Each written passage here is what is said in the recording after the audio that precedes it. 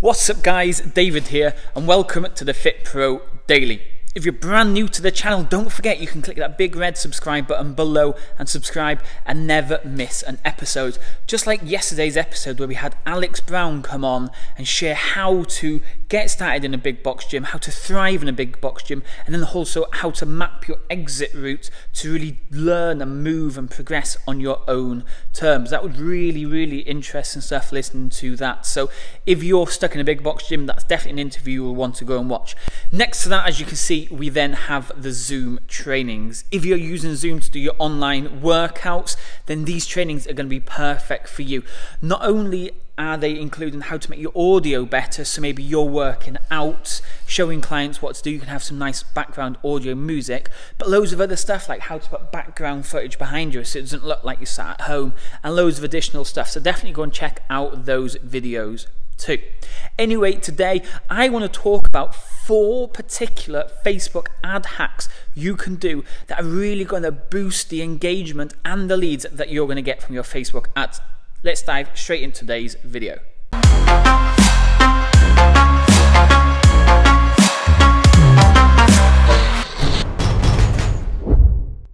Okay, so let's dive into these four Facebook ad hacks. Some of them are going to seem super simple, and some of them are going to be like a, a light bulb going off. Like, why didn't I even think about that before? So let's dive straight into that first one. Okay, ad hack number one. We all know that we can't use before and after pictures in the images or videos that you're producing for your ads. You can't even put before and after pictures on your landing pages that you're sending people to from Facebook. But there is one place where you can put your before and after pictures, and that is in the comments of the ads. So my suggestion in this situation is you put those ads up, you get them approved, and then they're live. Then in the comments, you add maybe three, four, maybe even five before and after pictures with maybe a story to each one. So when people are having a look through the ad, they're scrolling, they've seen this ad on Facebook, they see, wow, this ad's actually got five comments good for social proof. They go and check out the comments, they see that you've posted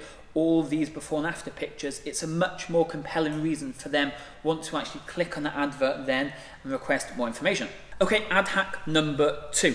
And this is also about social proof, but something a lot of us forget to do.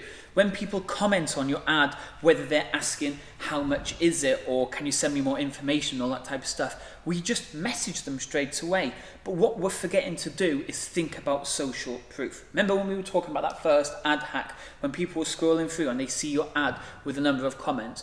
We want that ad to have as many comments as possible for the simple reason being when somebody's scrolling through Facebook and they see an ad and the ad's got, let's say, 40, 50, 60, 70 comments, they're going to be interested. Wow, why is this post getting so many different comments?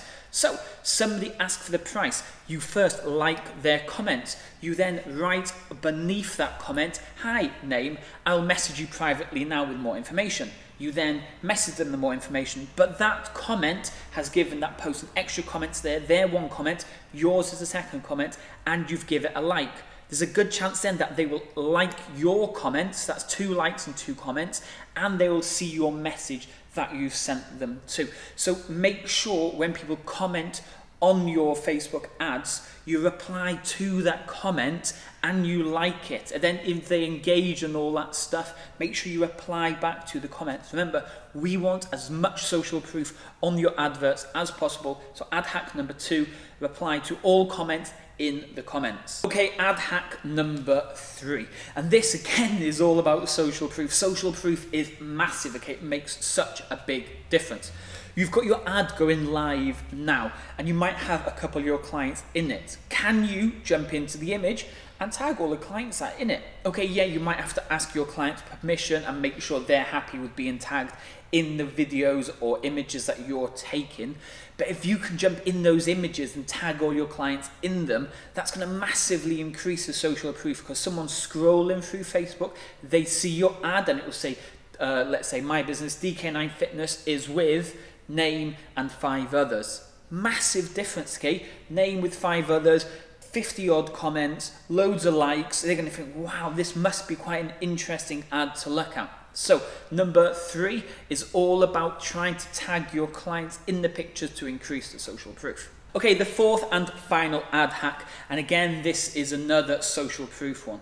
But instead of creating the ad in Ads Manager, if you've got a successful ad that you've run before, I want you to actually post this on your page first.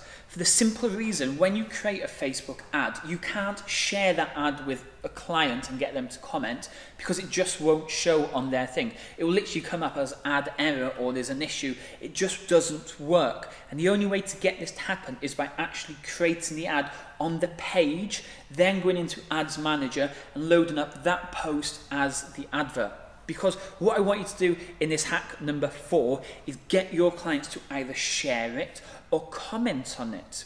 Again, social proof. You're replying to all the comments. Maybe you've tagged your clients in the pictures. But if your clients are actually commenting on this post as well, yes, I love coming to DK9 Fitness. The staff are really helpful. I've got such amazing results when people are jumping on, they're seeing all these comments, and it's not just you commenting, showing before and after pictures, it's your clients, and they've say you've got five or six clients posting different stuff on there, then it's going to massively improve the reach and the awareness and just the whole quality of that advert.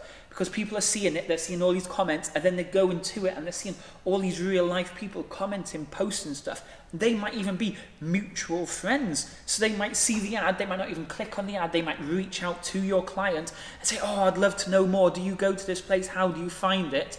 And that is going to start that conversation with them. Then they can bring them in as a referral. We all know referrals are much, much better than chasing cold leads. And it's a great way to really boost your ads. So they were the four Facebook ad hacks. And as you can see, as from all of them that we talked about, it's all about social proof, okay? The more social proof we can have in the ads, the better they're going to be. So definitely go back, watch all four of them again, write some notes, and try implementing them on your next couple of ads and really see the difference that this does to the reach and to the, the amount of leads that come in from the adverts. Again, if you're new to the channel, don't forget you, uh, you can subscribe by clicking that red button below. Also, don't forget to check out yesterday's interview where we had Alex talking about how to really thrive and move out of a big box gym. Tomorrow, we've got some brand new YouTube trainings coming your way, and they're all going to be based on Canva. Thanks for watching, and I'll speak to you all soon. Cheers.